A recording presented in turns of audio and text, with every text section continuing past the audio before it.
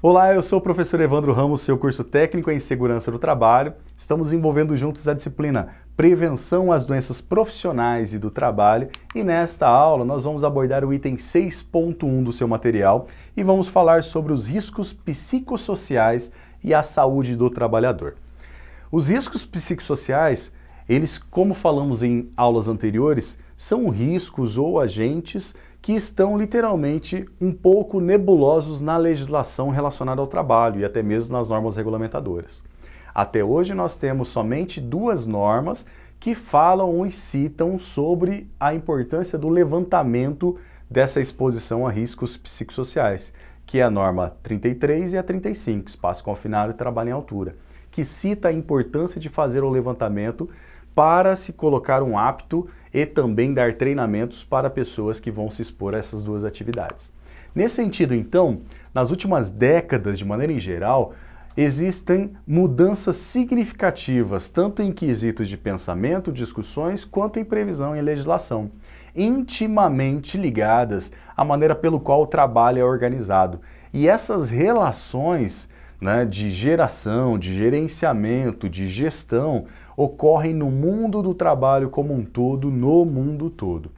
Nesse sentido, resulta em muitos riscos emergentes e também novos desafios, como, por exemplo, fazer o levantamento de riscos psicossociais. Na prática, se formos entender na raiz do problema, dos problemas psicossociais, dos riscos psicossociais, quem deve fazer o levantamento desse risco deveria ser alguém habitual que tenha habilidades também e práticas sobre o ambiente de trabalho nesse ambiente de trabalho. Além das doenças ocupacionais relacionadas ou doenças que estejam relacionadas aos fatores psicossociais. Nesse sentido, entra a ação do psicólogo, entra a ação do médico do trabalho. Porém, o psicólogo, mesmo tendo o conhecimento técnico, por exemplo, da área específica de tratamento das doenças e tudo mais, ele não vai conhecer em suma, como por exemplo a área de engenharia e até mesmo médico trabalho, não vai conhecer com detalhes o ambiente de trabalho para poder favorecer com que sim exista uma relação ou não de alguma doença ou agravo que possa ser desenvolvido por conta daquele ambiente de trabalho. Então, na prática, nós temos sim algumas dificuldades no desenvolvimento de ações, mas cabe a nós entender que previsionistas nós temos que adotar ações específicas para poder prevenir alguns tipos de agravos relacionados a essas áreas. Então, nós temos um desafio bastante importante nesse campo da saúde, saúde e segurança ocupacional, por geralmente trabalharmos diretamente com essas questões. Os riscos psicossociais, eles foram identificados como um dos principais riscos emergentes no mundo todo. O ambiente de trabalho e a própria natureza também do trabalho que está sendo desenvolvida são importantes influências na saúde e o bem-estar dos trabalhadores de maneira em geral, e isso pode estar relacionado também com esses afetares ou com o afeto ou com o desencadear também de alguma doença psicossocial.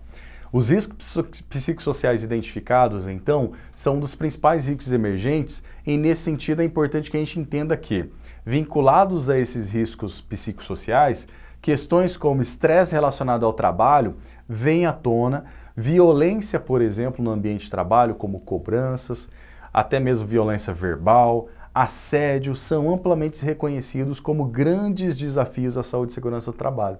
É importante também que nós temos um histórico dentro da segurança do trabalho, que é o técnico de segurança de maneira histórica, visto na visão de algumas empresas, que deve cobrar a exigência do uso de EPIs. E nesse sentido, cabe a ele também demitir funcionários, o que na realidade não deve ser feito. Deve sim existir sempre uma dinâmica natural e também específica do desenvolvimento de trabalho. Nesse sentido, às vezes até a figura do técnico de segurança em determinados segmentos e empresas acaba sendo mal visto pela sua, pela sua visão que deveria ser prevencionista, fica mal visto por conta de ter essa visão literalmente como general daquele tipo de situação em de mantendo ou não mantendo o emprego das pessoas. E isso, obviamente, é uma questão que vai amplificar as questões de saúde e segurança e também vai amplificar até mesmo as demandas na área de saúde pública. Há evidências, por exemplo, fortes na literatura e crescentes para indicar uma associação entre queixas e saúde relacionadas ao trabalhador e também da exposição a riscos psicossociais. e também numa interação entre esses riscos físicos e psicossociais, como uma ampla gama de resultados da saúde para o trabalhador individual, quanto também para as empresas de maneira em geral. A sessão seguinte tem como objetivo literalmente fornecer algumas informações para vocês em relação à definição e natureza de riscos psicossociais no trabalho. Vamos lá. A carga de trabalho tem uma relação direta que pode ser conceituada como uma sobrecarga de trabalho. Essa sobrecarga, sim, pode gerar uma sobrecarga até mesmo mental no ambiente de trabalho para o trabalhador, para o grupo de trabalhadores e para a organização como em si, talvez até para um setor inteiro, e fazer com que eles desenvolvam sim um cansaço mental e isso em esgotamento físico posterior para, um ambiente, para a resolução ou a atividade que seja desenvolvida no ambiente de trabalho daquela empresa. E esses fatores, então, eles podem ser compreendidos em algumas, alguns aspectos como fatores psicossociais no ambiente de trabalho. Esse estresse mental, essa carga de trabalho também é importante. Outro tipo de questão importante na carga de trabalho pode existir também essa pressão em tempos tempo para fazer a peça, um prazo para fazer a entrega, um prazo para produzir mais tipos de equipamentos ou produtos, e essa pressão também pode influenciar de maneira em geral as questões psicossociais dos trabalhadores.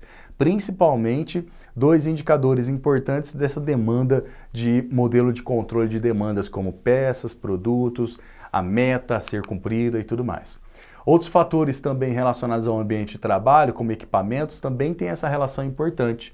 Porque, de maneira em geral, quando essas ferramentas e equipamentos eles não forem adequados e também disponíveis no ambiente de trabalho, isso pode gerar alguns fatores psicossociais, tendo essa claramente a necessidade de adequação e também manutenção desses equipamentos para que o bom trabalho, para que o bom desenvolvimento das tarefas seja bem realizado no ambiente de trabalho. Outros tipos de questões ainda são as relações interpessoais ruins no ambiente de trabalho. E essas interrelações, elas vão estar referendo-se ao isolamento físico e social. Vão, tra vão estar trazendo consequências ao trabalhador que vai querer se isolar para não resolver problemas e até mesmo não ir ao trabalho para não encontrar aquele colega, aquele, aquela chefia, não encontrar aquele gerente, aquele coordenador, ou até mesmo não querer mais trabalhar naquela empresa por conta dessa pressão exacerbada e dessas relações interpessoais muito ruins no ambiente de trabalho. As relações insatisfatórias também no trabalho, elas podem ser uma fonte importante de estresse para os trabalhadores. Isso é caracterizado, isso é visível, existe literatura que comprova isso, e esses fatores são bem complexos porque eles estão presentes na grande maioria das instituições, das empresas no Brasil e no mundo todo. São fatores importantes para serem diagnosticados, investigados em nível de interferência para esses fatores. Existem vários modelos, várias empresas que fazem esse levantamento diagnóstico e, obviamente, a partir desse diagnóstico devem ser tomadas ações para se evitar e tratar esse risco importante no ambiente de trabalho.